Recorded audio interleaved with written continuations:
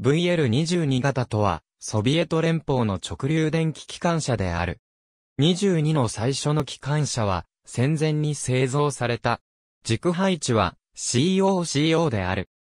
1930年代、旧型19系の台車枠や、車軸の機械的強度の不足に伴う政策停止が討論される中、カフカース横断鉄道の峠越えに作られた型、電気機関車を基礎に、回生ブレーキを持つ新しい電気機関車の増備が要求されていた。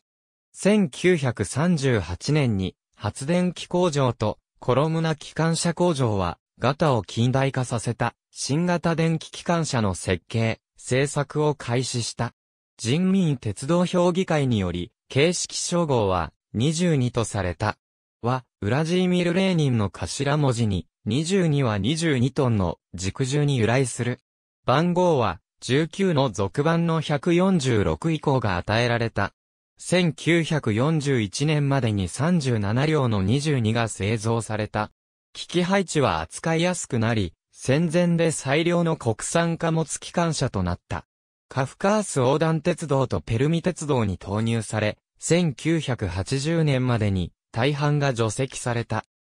1940年に発電機工場では1時間定格出力を 400kW に増強させた主電動機を開発。22K の178号機に試験的に取り付けた。この電動機は 22K 機関車の機械部分の変更なしに交換が可能であった。1940年から1945年までの試験結果は良好で、1946年には戦後初の電気機関車22から184号が新しい電動機を搭載して作られた。これは発電機工場制最後の幹線用電気機関車となった。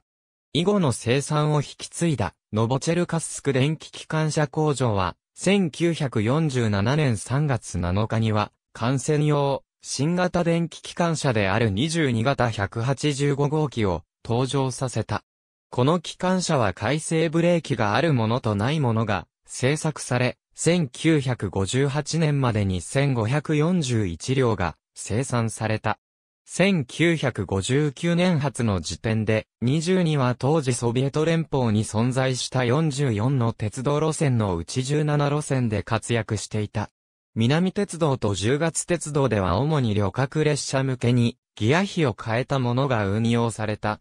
1970年代末期から22の廃車が始まり、1980年代に廃車が最も促進された。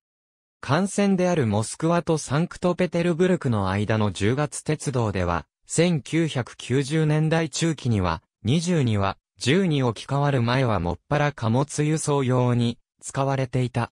スベルドロフスクの操車場の22は、1987年頃にはその経年からだけではなく、軸受けの油量を常に監視しなければならない、古風なシステムを持つがゆえに、羊と揶揄されていた。カフカース横断鉄道の電化区間向けに、河川電圧を 3000V から 6000V に昇圧した試作機22型が、1973年から1975年にかけて22型から飛び式機関車工場で5両改造されたが、絶縁などの問題の解決を見ることはなく、6000V 電化は不適当とみなされ、22は1980年に除籍された。ありがとうございます。